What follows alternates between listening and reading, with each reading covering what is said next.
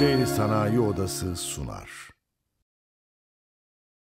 1989'dan günümüze.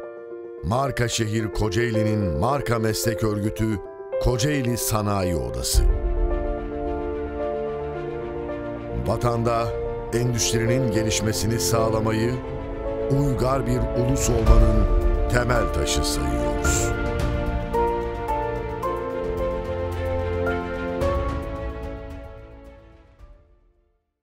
Türkiye Cumhuriyeti Kurtuluş Savaşı sonrasında yorgun ve bitkin bir ülkeyken adeta küllerinden yeniden doğmasını elbette Atatürk'ün kalkınma hamlelerine borçludur. Bu hamlelerin en başındaysa hiç şüphesiz sanayileşme süreci gelir. Bitinya Krallığından günümüze birçok medeniyete ev sahipliği yapan Kocaeli, büyük bir kültürel birikimin yanında ticari ve sanayi gelişmelerinde mirasçısıdır. İşte bu sebeple Kocaeli, bir liman kenti olması, coğrafi konumu ve gelişmiş insan gücü avantajlarıyla sanayileşme sürecinin kilometre taşlarından biridir.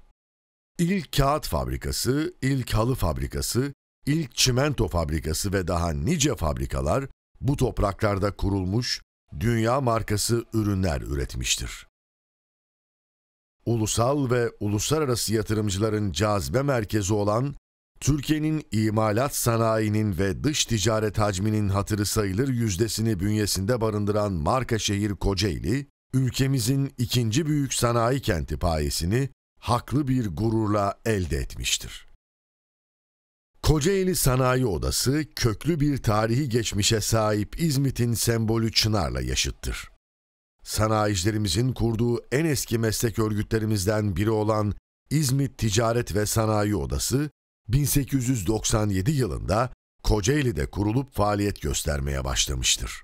Türkiye'nin büyümesini ve gelişmesini hedefleyerek yola çıkan bu kuruluş, yaklaşık bir asır sonra üç tane daha ticaret ve sanayi odasının doğmasını sağlayacaktır.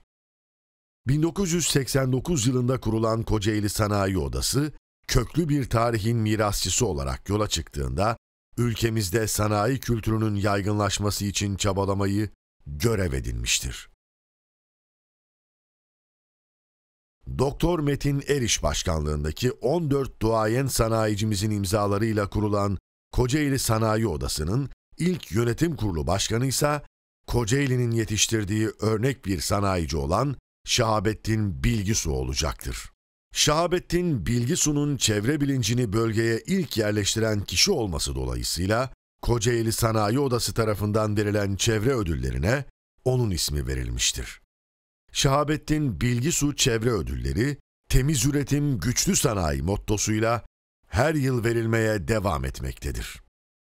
Bölgedeki sanayinin hızlı ve düzensiz kurulmasının çevre sorunlarını beraberinde getirmesi üzerine Kocaeli Sanayi Odası bu konuda çalışmalar yapmaya başlar. Bu anlamda ilk adım Gebze Organize Sanayi Bölgesi olur. Onun açtığı yol diğer organize sanayi bölgelerinin kurulmasını kolaylaştırır. Bugün bilim, teknoloji ve sanayide marka şehir Kocaeli'de bulunan Bilişim Vadisi, teknoparklar ve çok sayıda organize sanayi bölgesinin kurulmasında Kocaeli Sanayi Odası'nın imzası vardır. Kurulduğu günden bugüne Türkiye'de hep ilkleri gerçekleştiren Kocaeli Sanayi Odası, hem Kocaeli halkının hem de sanayisinin su ihtiyacı nedeniyle Yuvacık Barajı'nın yapılmasına destek vermiştir.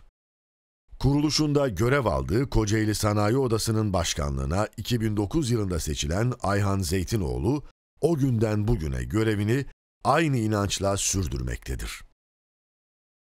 Dünya markalarının üretildiği marka şehir Kocaeli'nin bir dünya markası Kocaeli Sanayi Odası, 127 yıllık köklü mirası ve 35 yıllık geçmiş deneyimiyle Kocaeli'nin ve ülkemizin ekonomisinde söz sahibi olarak sanayicimizi başarıyla temsil ediyor.